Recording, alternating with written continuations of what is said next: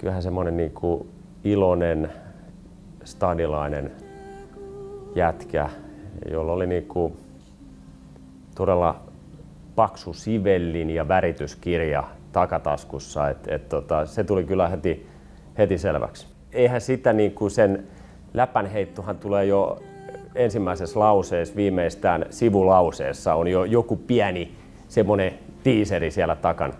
Siis Kimmo Kuhtahan kunnioitti vanhempia pelaajia aivan, aivan mielettömästi ja, ja tota, se, miten hän halusi imeä IFKn historiaa, sitä pukukoppihistoriaa, miten ennen on tehty, mitkä on niin kuin, tavat ollut. Se oli niin kuin, ihan loputonta.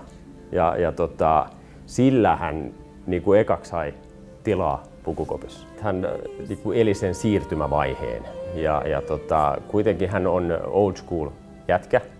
Kyllä hän piti siihen asti, kun hän niin kuin viimeisen kerran hokkarin otti jalasta pois, niin sitä IFK on tietynlaista perintöä ja, ja sitä arvomaailmaa siellä kopissa.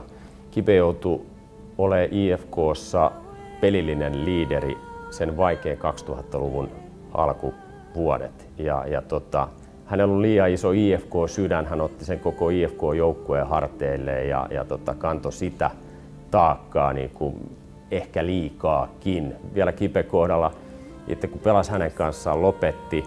Ja sitten mä näin hirveästi siinä hänen urakaaressaan samaa, mitä omassa urakaaressa oli.